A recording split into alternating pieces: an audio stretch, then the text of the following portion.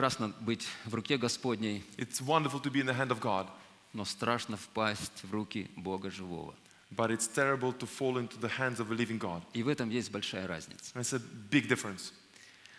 Павел, пройдя путь от фарисея Савла, Paul walking his uh, path from being a Pharisee called Saul, который ревностно исполнял закон Моисея, who zealously fulfilled Moses' law. и на сно- на основе этого закона он, вы знаете, как он притеснял, гнал христиан. And now, you know, based on that law, he persecuted Christians. И после встречи с Господом он стал апостолом. And after encounter with God, he became an apostle. То есть он прошел этот путь от фарисея, законника, до- walked this path from being a Pharisee and the person of the law до апостола Христова. to the apostle of Christ. И вот он, обращаясь к евреям, то есть к церкви, говорит следующее. So he speaks to Hebrews, to the church, he says the following words. Это записано к евреям 20, ой, простите, 10, 28, 31. We read this in Hebrews 10, verses 28 to 31.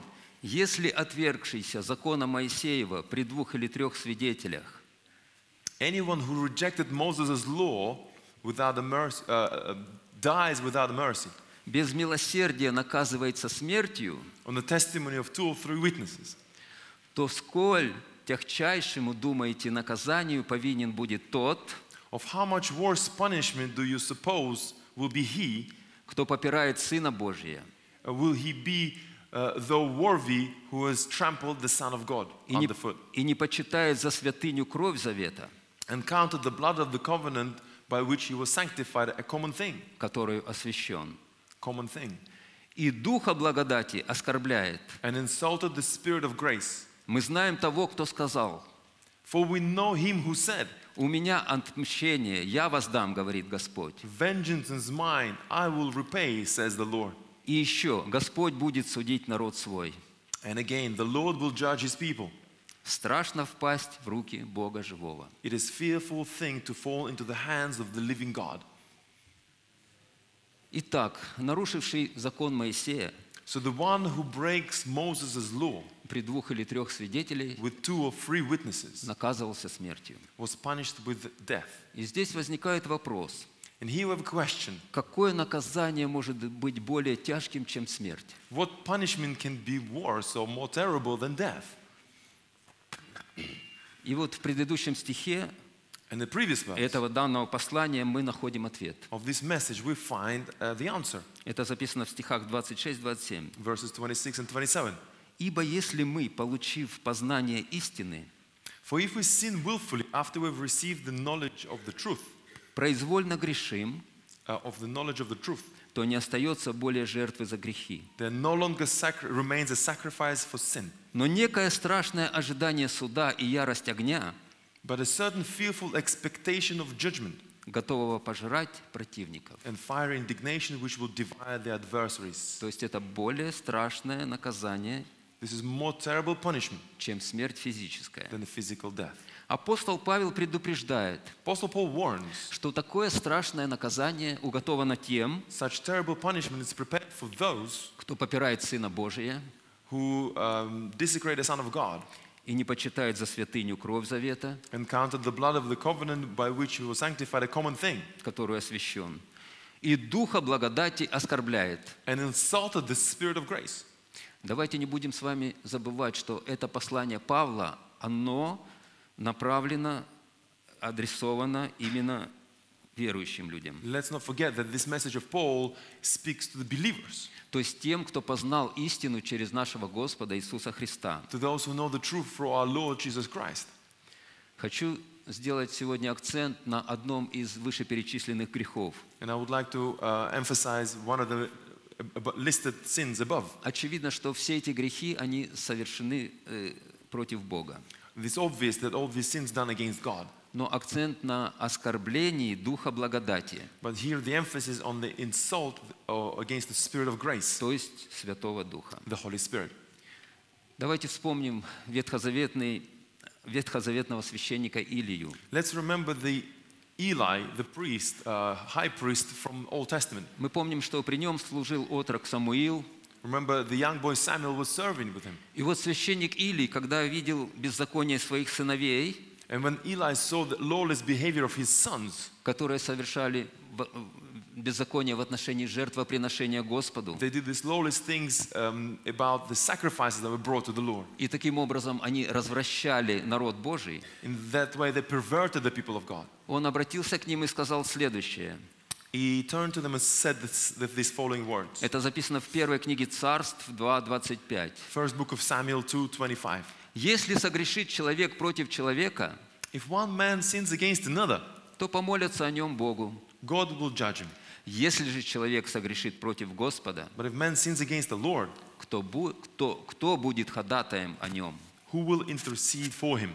Итак, мы видим с вами, что есть два вида согрешений. We see there are two uh, different sins Это согрешение человека против человека sin of man against another, и согрешение человека против Бога. and the sin of man against the Lord. И эти согрешения, они, естественно, отличаются друг от друга. Во-первых, своей значимостью with the, um, how big they are, и, how serious they are, и своей тяжестью. and how heavy they are. И также, естественно, различна и степень наказания And of course, the punishments are also different за тот или иной вид согрешения. for one or the other type of the sin. Мы знаем, что согрешения человека в отношении другого человека, они совершаются в результате взаимоотношений между людьми. We know when one man sins against the other, it happens in when one have relationship with the other. И это могут быть зависть, It can be envy, злоречие, um, contention, какое-то лукавое подозрение, some kind of crafty suspicion, клевета, сплетни, воровство, defamation, gossip, theft, прелюбодеяние и так далее. adultery, and so on. И такому виду согрешения не вменяется высшая степень наказания, And there is no high punishment for that kind of sin, то есть смерть, the death. если согрешивший искренне покается, If the one who sins repent, rep- repents sincerely, и за него помолятся братья его. and the brothers pray for him, Как записано у Иоанна 5, 16, 17. as we find in 1 John 5, 16, 17. «Если кто видит брата своего, согрешающего грехом не к смерти, If anyone sees his brother sinning a sin which does not lead to death, то пусть молится, he will ask, и Бог даст ему жизнь, and he will give him life то есть согрешающему грехом не к смерти. for those who commit sin not, sin not leading to death. Есть грех к смерти, There is sin leading to death. не о том говорю, чтобы он молился. I do not say that he should pray about that. Всякая неправда есть грех, All unrighteousness is sin, но есть грех не к смерти. and there is sin not leading to death. Согрешение человека в отношении Бога, The sin of man uh, against God, они, соответственно, совершаются в результате близких отношений they are done, of course, in the cl- if there is a close relationship между человеком и между Богом. between man and God. И за совершение такого греха And for such a sin, человек наказывается смертью. person is punished by death. То есть я еще раз хочу напомнить, что когда мы призываем силу, славу Божью, When we call the glory and power of God, это говорит о очень близких отношениях с Ним. it talks about very close relationship with Him. Когда мы с вами провозглашаем «Жив Господь», When we proclaim saying, Lord is alive, Он действительно жив. He is truly alive. И когда Он настолько близок, And when so close, то призываю вас к страху Господню. He calls us to have fear of the Lord. То есть вот эти грехи против Бога, они могут иметь те же виды согрешений, что и между людьми. То есть это может быть злоречие, It can be slander, это может быть хула, blasphemy, лукавые подозрения, crafty suspicions, ложь, клевета, lies, slander, воровство, блудодеяние, theft, fornication, непослушание и предательство. Disobedience, betrayal, и так далее. and so on. Но все это совершается против Бога. И наша Библия, наше Священное Писание дает нам несколько примеров такого вида греха, Bible, который совершил народ Божий, как в Ветхом, так и в Новом Заветах. И мы сегодня с вами рассмотрим эти примеры, We'll look at these examples today потому что это для нас хорошее напоминание, чтобы Господь сохранил нас от тех неправедных поступков, которые были совершены нашими предками. um. Итак, в Новом Завете, в книге «Деяния апостолов», So New Testament, uh, book of Acts, в 4 и 5 главах, chapters 4 and 5, для нас оставлено как свидетельство, как предупреждение we have a testimony like a warning о том, как смертельно опасно грешить против Святого Духа. about how it is deadly dangerous to sin against the Holy Spirit. Мы помним, как, э, когда э, было движение, когда был, сошел Дух Святой во время Пятидесятницы, Remember, the Holy Spirit came down during the Pentecost. Господь являл свою славу в народе Lord, своем. Lord manifested His glory on His people. И правители религиозные, они были очень встревожены этим успешным служением апостолов, uh,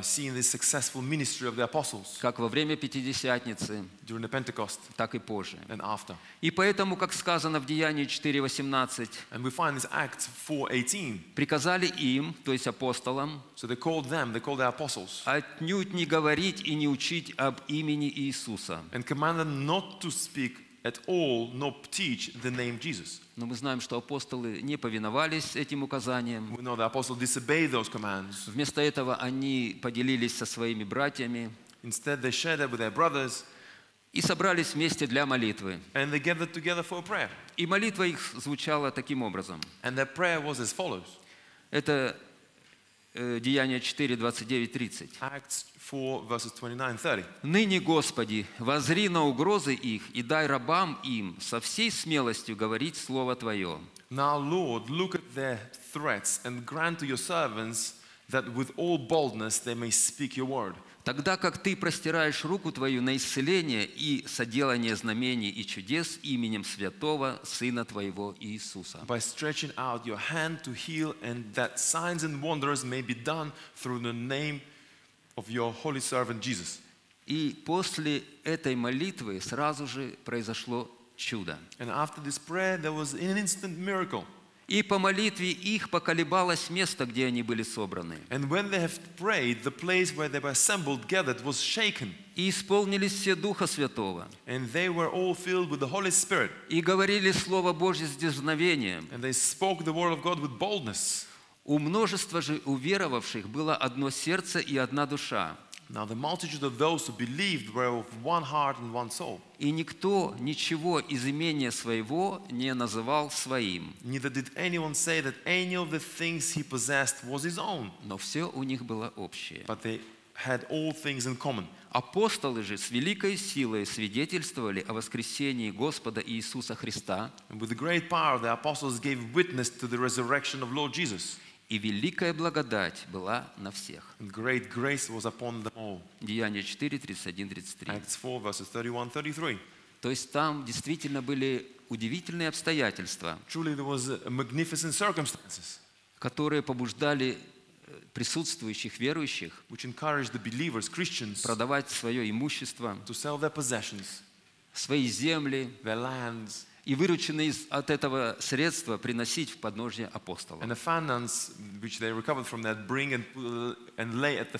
есть для распоряжения апостолами в отношении своих братьев и сестер. So the apostles could use the money to support their brothers and sisters. И вы знаете, это даже не удивительно, что они были побуждаемы Духом Святым совершать вот эти действия. And you know, it's not even surprising that they were encouraged by Holy Spirit to do such things. А далее мы читаем, Further, we read, что некоторый же муж именем Анания с женой своей Сапфирою, But a certain man named Ananias, with Sapphira his wife, продав имение, утаил из сыны sold a possession and kept back part of the proceeds, с ведома и жены своей, his wife also being aware of it, а некоторую часть принес и положил к ногам апостолов. and brought a certain part and laid at the apostles' feet. Деяние 5, 1, 2. Acts 5 1 2. Как и сказал Петр э, в от- к Анании, он имел право сделать то, что он сделал. As uh, Apostle Peter said to Ananias, he had the right to do what he did. Потому что Бог лично Анании не повелевал, чтобы он продал свою землю, свое имение Because God personally did not command Ananias to sell his possession and his и, land и какую-то часть от проданного а, э, отдал апостолам, принес bring, and апостолам bring any part of the proceeds to the apostles для, для общего, ну- для общего э, использования, для нужд церкви. for the common use for the needs of the church. Но его грех состоял в том, But his sin was что он объявил, that he announced будто все деньги от вырученного он принес апостолам. that he brought all the money that he gained from the sale, Хотя это было не так. although that was a lie. Как и сказал ему Петр, не твое ли это было, Анания? As Peter said to him, Was it not your own, Ananias? И Петр задает ему вопрос, почему он допустил сатану в свое сердце, And Peter asked him why he has allowed Satan to enter his heart, чтобы солгать Святому Духу. to lie to the Holy Spirit. Мы знаем, что Святой Дух в то время очень могущественно действовал через апостолов. We know the Holy Spirit worked with a magnificent power for apostles. Мы знаем, что место, где они собирались и молились, оно было поколеблено силой Божьей. Происходило удивительное исцеление больных, It was wonderful healings of the sick. и также проявлялись другие виды проявления и признаки силы Духа Святого. Апостолы, исполненные силой и помазанием Духа Святого, с дерзновением проповедовали, Apostles were anointed with the power and they preached with boldness. и все собрание, включая и Ананию с Сапфирой, And all the gathering, including Ananias and Sapphira, получило свидетельство, что Бог среди них. had a testimony that God was among them. Но они не оказались искренними на деле. But they were not sincere. Они пожертвовали только часть того, что им принадлежало, They only sacrificed part of what belonged to them, выдавая это за все, чтобы достойно выглядеть в глазах братьев и сестер. Да, окружающие их братья и сестры, они могли быть введены в заблуждение, Yes, the brothers and sisters around them may have been confused and но, но апостолу Петру был дан особый дар Духа Святого. But Apostle Peter had a special gift from the Holy Spirit. Это слово знания. It's a word of knowledge. То есть он имел способность видеть, читать мысли и видеть сердце человека. He had ability to read the thoughts and see the heart of the man. И имея это помазание, он различал ложь от истины. And having such anointing, he could distinguish lies from truth. И Петр сказал Анании, Peter said to Ananias, ты солгал не человеком, а Богу. You have not lied to man, but to God. Да, это действительно очень хороший урок для всего Божьего народа. Truly, this is a really good lesson for all people of God. Давайте помнить с вами всегда, что мы падаем или стоим перед Богом, а не перед друг другом. Let us always remember that we either fall or we stand before God, not just before each other. То есть не нужно ходить перед людьми. In other words, we should not walk before people. Это касается не только средств, которые были утаяны Ананией и Сапфиром. They were hidden by Ananias and Sapphira. Это касается всякого лукавства, которое может присутствовать во время покаяния. It relates to any kind of hypocrisy that can be in any repentance. Перед людьми оно может быть искренним, Before people, it may look sincere, но Бог видит сердце. but God can see the heart. Это могут быть и молитвы неискренние. This could be uh, prayers that are not sincere. Опять с целью выглядеть красиво и благородно и благочестиво перед братьями и сестрами. Again, in order to look honorable and, uh, and righteous before brothers and sisters. Но Бог живой, как мы говорим, But as we say, God is alive. и Он святой. He's holy. Сапфире Петр сказал что, он- э, сказал, что она согласилась своим мужем искушать Святого Духа. Peter said to Sapphira that she agreed with her husband to tempt the Holy Spirit. И она понесет то же наказание, что и Анания. And she will carry the same punishment as Ananias. И мы знаем, что Господь поразил их обоих We смертью know that God hit them both with death, за то, что они согрешили против Святого for Духа. they have sinned against the Holy Spirit. И это не могло быть им прощено, And it could not be forgiven to them. Потому что это не был грех неведения. Because it was not a sin due to lack of knowledge.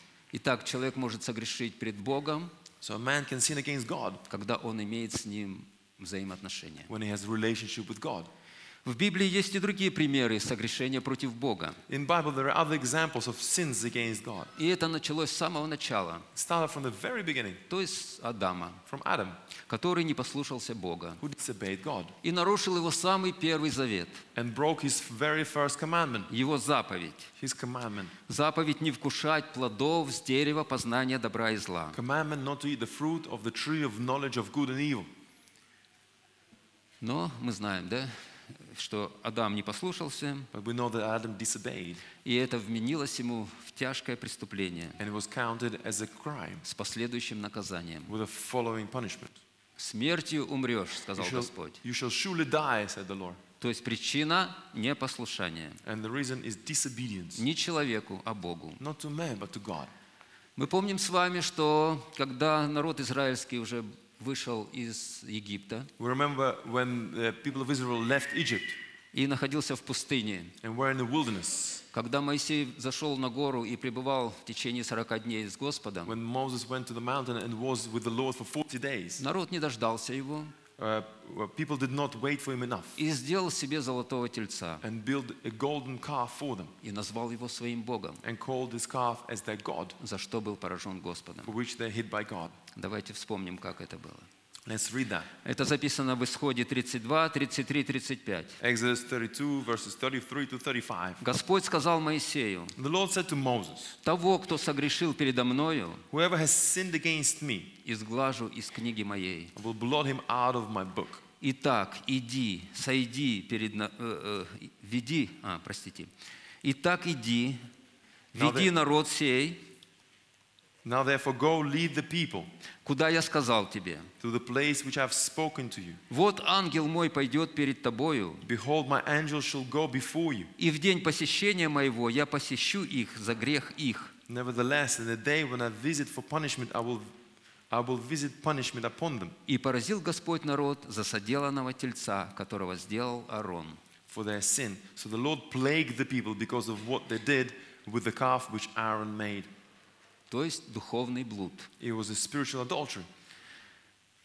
А Господь, обращаясь к своему народу, задает следующий вопрос. Lord, speaking to his people, asks the following question. Это написано у Малахии 3, 8, 9. We, we read this in Malachi 3, verse 8 and 9. Можно ли человеку обкрадывать Бога? Will a man rob God? А вы обкрадываете меня. You have robbed me. Скажете, чем обкрадываем мы тебя? But you say, In what way have we robbed you? Десятиною и приношениями. In tithes and offerings. Проклятием вы прокляты, потому что вы, весь народ, обкрадываете меня. You're, you're cursed with a curse, for you have robbed me, even this whole nation. Вот еще один грех против Бога. Another sin against God Воровство. is a robbery. Итак, вернемся к детям священника Илии, So we go back to the children of, of uh, priest Eli, которые отвращали народ от жертвоприношения. who turned people away from bringing sacrifices to the Lord. Грех их был велик, Their sin was great, и за это они поплатились жизнью. and they paid uh, for it with their lives. Они умерли в один день. They died in one day. Иуда Искариот был вором и предателем. Judas Iscariot was a thief and a traitor. В наказание His, his punishment – смерть. was death. Анания и Цапфира Ananias and Sapphira солгали Господу lied to the Lord и были поражены мгновенно. and were hit instantly. Итак, всем вышеперечисленным преступлениям против Бога So all these uh, sins against God that I've listed можно дать одно общее определение. can be given as one definition. Это хула на Духа Святого. It's blasphemy against Holy Spirit. Так как ху- хула, согласно библейской энциклопедии Брагауза, It's a blasphemy according to the uh, biblical encyclopedia. это оскорбление каким-либо словом или делом, Is an insult with a word or action, а также клеветнические обвинения. and also slanderous accusations. И наш Господь Иисус Христос в Евангелии очень ясно сказал, что ожидает тех, And our Lord Jesus, Jesus Christ said clearly in the, said in the gospel what will be expecting those кто согрешит против человека, who sins against a man и тех, кто согрешит против Бога. and to those who sins against God. Это записано у Луки 12.10. We find this in Luke 12:10. «И всякому, кто скажет слово на Сына Человеческого, If, прощено any- будет. if anyone who speaks a word against the Son of M- Man, it will be forgiven him. А кто скажет хулу на Святого Духа, But him who blasphemes against the Holy Spirit, тому не простится». it will not be forgiven. И у Марка 3, 28, 29. And Mark 3, verses 28 29. «Истинно говорю вам, Assuredly I say to you, будут прощены сынам человеческим все грехи и хуления, all sins will be forgiven to sons of men, and whoever blasphemes they may utter, какими бы ни хулили. and whatever blasphemes they may utter. Но кто будет хулить Духа Святого, But he who blasphemes against the Holy Spirit тому не будет прощения вовек, never has forgiveness, но подлежит он вечному but осуждению». is subject to eternal condemnation. Господь нас призывает к страху Его. Lord calls us to have fear of the Lord.